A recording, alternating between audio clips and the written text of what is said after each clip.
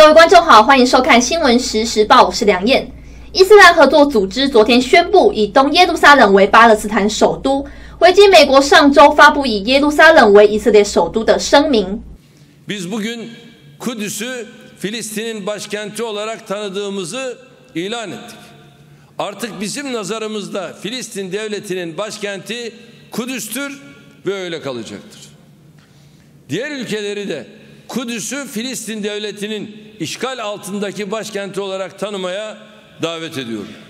根据半岛电视台的报道，伊斯兰国家的领袖昨天在土耳其紧急召开高峰会，虽然没有讨论出如何制裁美国的具体行动，仍然严重呼吁各国东耶路撒冷是巴勒斯坦遭到占领的首都，并希望联合国终结以色列的占领。 ايضا تهنئه لنا جميعا في الامه الاسلاميه بهذه القرارات الممتازه التي تم الاعلان عنها. أن تأتي 57 دولة إسلامية وتجتمع هنا ويكونوا على كلمة واحدة فيما يتعلق بالإدانة والشجب والاستنكار لقرار الإدارة الأمريكية بنقل. بالاعتراف. بالقدس عاصمة لإسرائيل ونقل السفارة آه، الأمريكية إليها فهناك إجماع 100% على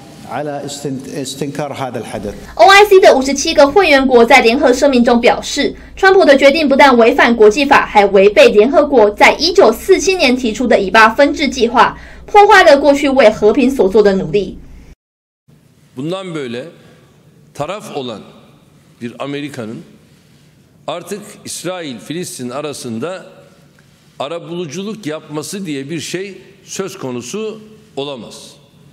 Bu süreç artık bitmiştir. Burada arabuluculuk konusu artık İslam İşbirliği Teşkilatı'nın tüm yetkililerinin aramızda görüşmek suretiyle kim olabilir? Ha bunun üzerinde durmak lazım ve gerekirse Birleşmiş Milletler'de bu konunun değerlendirilmesi lazım. Çünkü taraf Olalla di, 另外，在高峰会场外，也有许多民众戴着印有耶路撒冷阿克萨清真寺的面具，高举各国国旗和标语抗议，要求杀人凶手美国滚出巴勒斯坦。以上是民进新闻的整理报道，谢谢收看。